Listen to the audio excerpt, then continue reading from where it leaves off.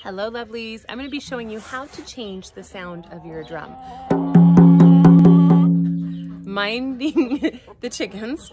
so you can kind of hear that this one has kind of a teeny pitch with it, if you can hear it around the chickens talking. so I'm going to start out by placing some water on the inside and water on the outside and letting it soak for a couple hours. So here I've got my drum and I've got just a bin filled with water. I'm going to scoop the water in enough that it covers the whole surface of the drum. I don't want a lot of water because I don't want it to sink down into the water. I just want this drum head to get wet. I'm gonna let it float on the surface. Now, if it sinks, then you've added too much water and you're not gonna get the stretch. We wanna keep the top lacings very, very dry.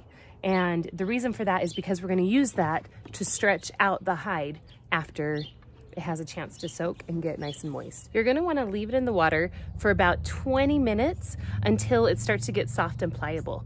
Uh, for thicker hides, you might have to put it in longer. But see, we've been waiting about 10 to 20 minutes and see how soft this is? That's exactly what you want right there. So what we're gonna do next is we're going to hang it holding this side and putting some pressure on this side so that this can dry a little bit more loosely so it can allow more space for the sound to travel through. Okay, so now that I've let this soak for long enough to make this center part pliable and flexible, I've hung some bungee cords onto a clothesline. You can use hangers if you need to, or you can even use the rod in your closet or shower, um, that bath shower rod to hang it as well. The key is to just leave it alone for a few days. So somewhere where it's not going to be disturbed. And if you're using bungee cords, make sure they're the same size or at least having the same tension on them. So these ones, you can kind of see I've maneuvered them a little bit so that the tension is about the same because we're gonna be putting some weight inside here and that's going to pull it down. Okay, so now that we've got it hung and in a safe space, we're gonna add a little bit of weight. All right, so my favorite thing to add is selenite because not only is it high vibrational cleansing, but it also is easy to get in little small pieces so you can add the weight gradually. So if you have some flat stones, we don't want to do anything that's got sharp edges that can puncture the loose rawhide. So make sure you get something that's flat on the bottom and smooth, and you're just gonna slide the weight in. And what this is going to do is it's going to push the hide back out so you have more space for air. And I'm adding just a few more, balancing them out.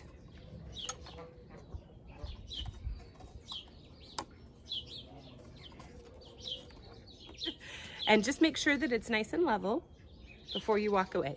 Um, and then the next step is as you watch it over the next few days, you can reposition all of the little selenite crystals or whatever you use for your weight just don't add too much weight because we don't want to stretch it too fast, otherwise it could tear. So instead we wanted to just do a subtle gradual ease, kind of encouraging the hide to expand out a little bit before it completely dries. And by doing that, you can keep it from having spots that are overstretched and changes the color. Uh, I did have one where it expanded so much that it created a crescent moon look. So if you like that look, great. Um, but try that. And if you still don't like the sound after that, I would suggest either adding more water and trying it one more time or a little bit more weight, or you can always re-soak it and retie the whole thing, but that is a lot longer process. Uh, if you do need to re-soak your drum and retie it, you're gonna soak it for about two days because you need to get all these little knots out and untie it carefully, then let it soak for a minute. Um, and by a minute, I mean a few hours to just rehydrate all of the angles. And then you'll go ahead and tie it again. And you'll wanna wait about three to five days after you tie it until it's fully dry. All right, and so now that it's been long enough that this feels dry underneath, we're just gonna take off all of our bungees.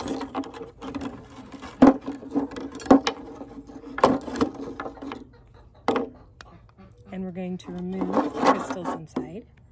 What do we have? So we've stretched the space right here and you can see just slightly on the edges, the stretched spots. Make sure you put some coconut oil on it.